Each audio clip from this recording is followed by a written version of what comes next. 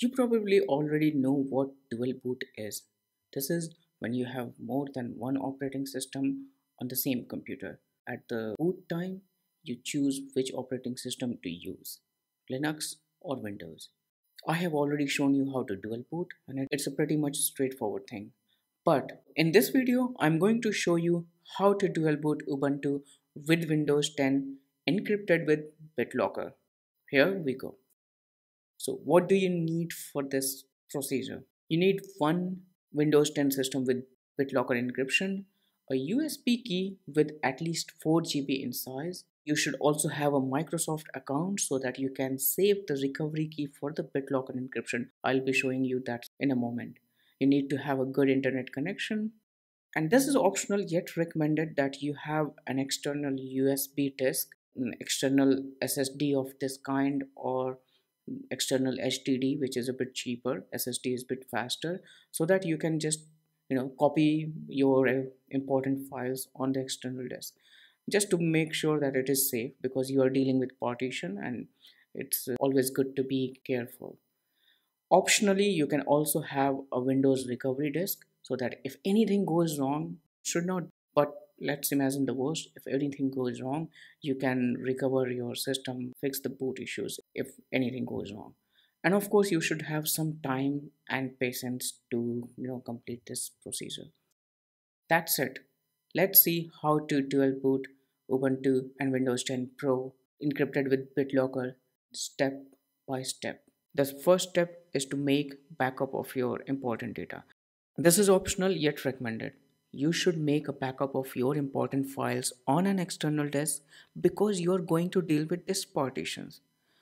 If you're not sure of anything, I suggest look for documents, music, videos, movies and other important stuff you must not lose and copy them on an external USB disk. You can use an external HDD or SSD. Both are good option. I have this SanDisk Extreme SSD and it's super fast. It's a bit expensive but super fast device. If possible, have a Windows 10 recovery disk with you as well. Because if anything goes wrong, you can recover your Windows and restore the boot records. The second step is to verify that you have BitLocker encryption and turn it off because you cannot dual boot with the BitLocker encryption on. So in the Windows menu, look for BitLocker and then go to the BitLocker settings.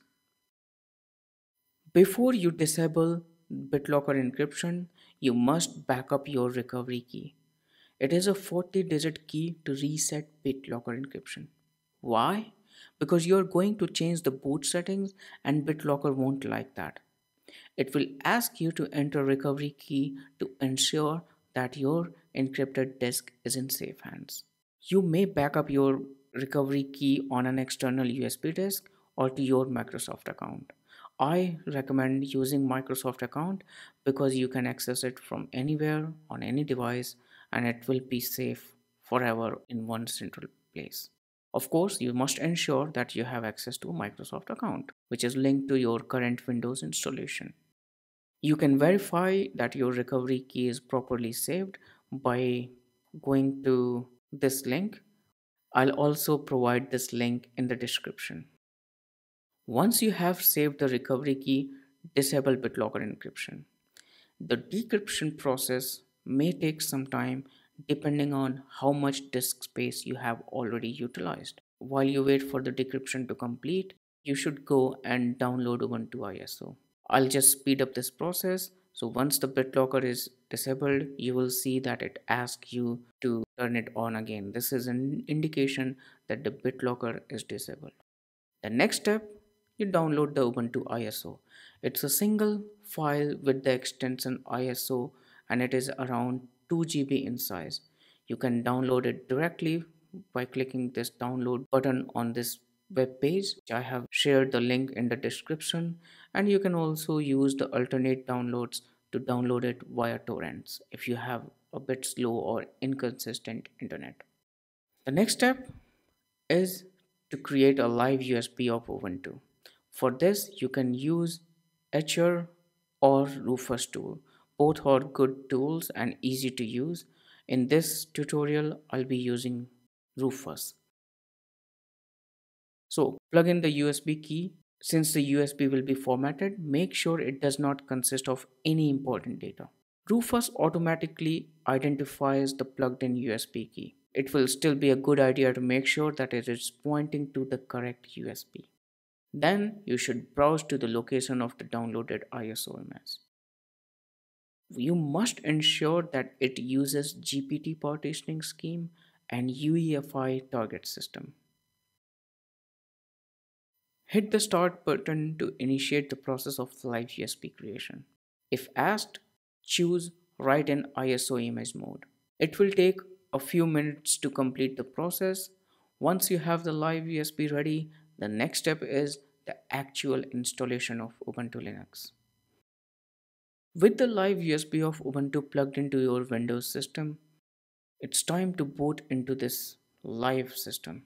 So what you can do is from Windows, go and search for UEFI and go to change advanced startup option. Under the advanced startup option, click on restart now button. On the next screen, click on use a device. You should see your actual hard disk and the USB key here. Click on the USB key. You can identify it with the name and the size of the disk. Now it will power off your system and reboot into the disk you chose, which should be the live USB disk of course. When you boot from the live USB, you should see this grub screen that presents you the option to try Ubuntu in live USB or install it right away. If you are trying it, you can just click on this install button and initiate the installation process.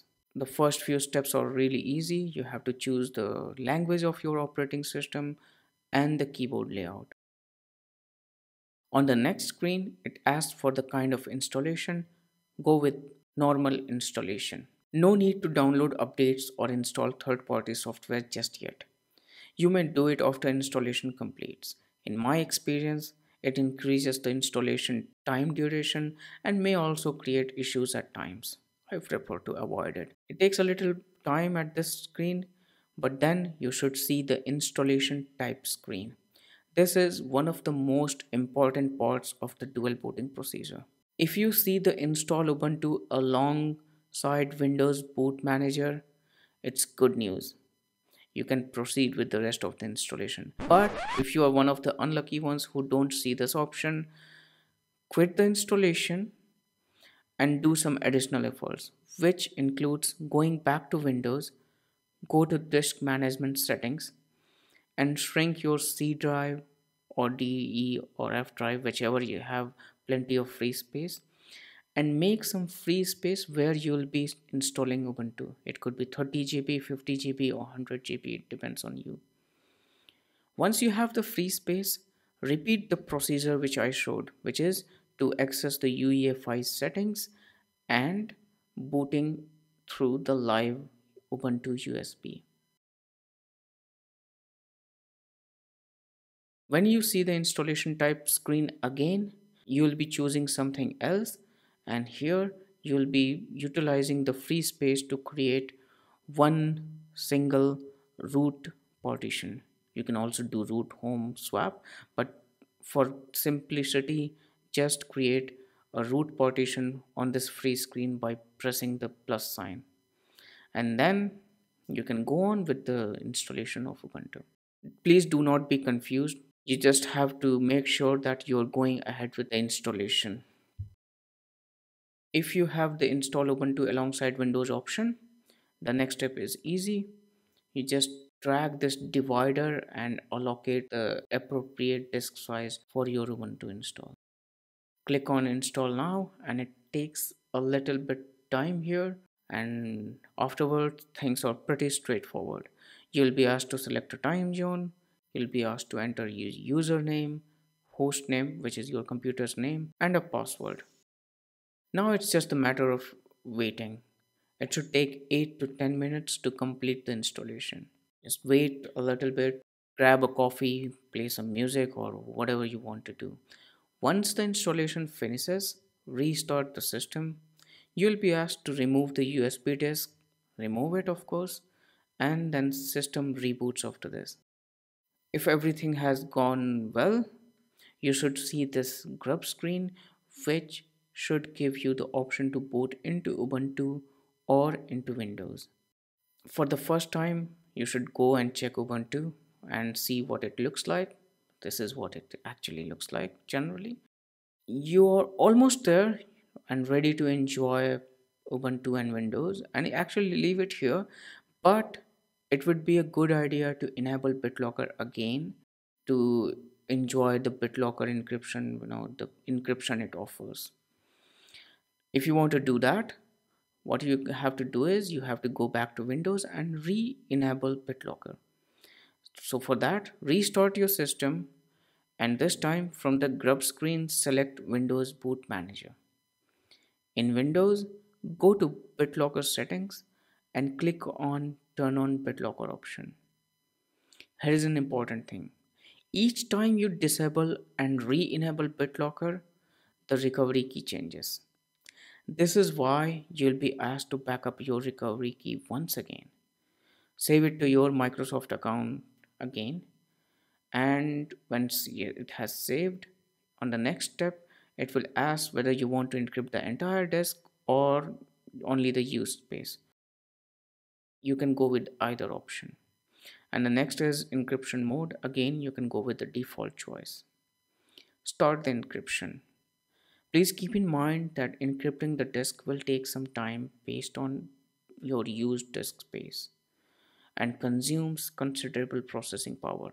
So have some patience. Once it is complete you're almost done except for one thing.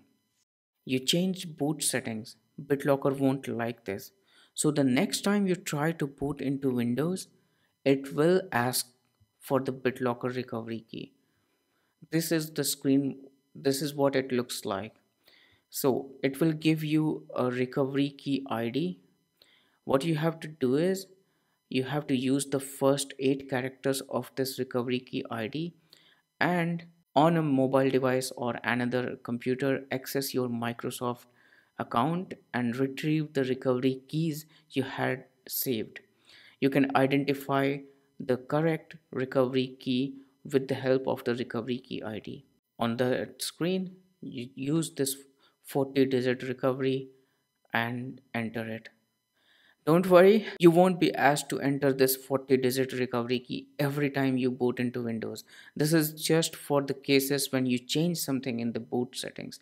This is why I advised you to use your Microsoft account because your recovery key will be saved on cloud and you can access it from any device anytime in the future.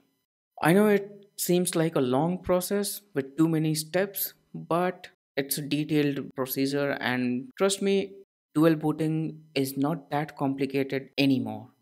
It used to be a lot, but Linux has improved a lot and it plays very well with UEFI and secure boot. I have done dual booting so many times, so uh, it feels like a really simple task for me. What about you? Did you manage to dual boot it properly or did you face any issues? Or do you have some question just by watching this video? Leave a comment and I'll try to help you out. And please do subscribe to our YouTube channel. And if it helped you, please consider donating us via Ko-fi. See you in the next video. Bye bye.